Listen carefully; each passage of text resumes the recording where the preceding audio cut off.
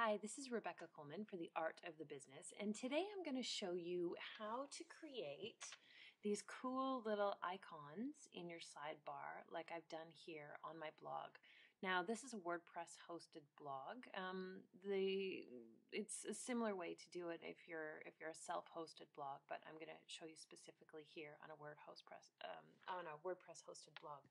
First thing you have to do is you have to find these icons, and it's really just go to Google, go to Google Images, and type in Facebook icon, and you'll come up with 500 bazillion of them. Um, pick the ones that you like um, and download them to your computer. The next thing you have to do is you have to upload them to a website somewhere. So in order to do that, you need an FTP program. I use CyberDuck because I'm on a Mac. And my little um, icons are called email.gif, facebook.gif, twitter.gif, and linkedin.gif. And all I do is I just I just uploaded them to my um, I just FTP'd them to my website. And so there they are. They're sitting there um, on my server somewhere in cyberspace. Okay. So now I have the um, the URL for this particular image, and the URL is um, titaniaproductions.com slash twitter dot gif. Now, what you do is you go into your dashboard in the art of the business, or sorry, your in the art of the business. Go into your WordPress dashboard and scroll down here until you get to widgets. Now, um, here's my sidebar. I got a bunch of stuff in my sidebar, a whole bunch of little widgets and things. What you do is you start by grabbing a text widget, which is right here. Okay, so grab the text widget and you literally just drag it over into the sidebar, and there it is.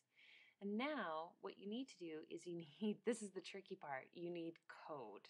You need, um, you need some, you need to do some HTML code in here. So I'll show you mine. It's this one right here. So here's the HTML code. And um, what I've done here is this one, the first one is an email. So uh, remember I said before I these I have the address now for each of those little icons. So there's the address for my email icon, um, titaniaproductions.com slash email um, dot gif. And then what I want to do is I want, if somebody clicks on that icon, I want them to send me an email. So here's the code for that, mail to Rebecca Coleman at Rebecca or Rebecca at RebeccaColeman.ca. Here's my um, here's my um, uh, uh, URL for my Facebook page, um, for my Facebook fan page, facebook.com, The Art of the Biz, and again, there's the code for for the icon. Uh, what I'm going to do is in the body of this blog post that I'm, so yeah, then you just, once you've got all that stuff in there, you just click save and it'll show up in the sidebar of your blog.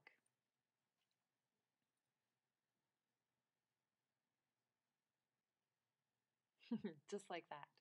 Um, what I'll do is in the blog post that's um, going to be connected to this um, video, I'll include the HTML code so that you can just copy that, put in your own um, you know, codes, put in your own URLs and stuff, and um, hopefully you should be in business. Good luck.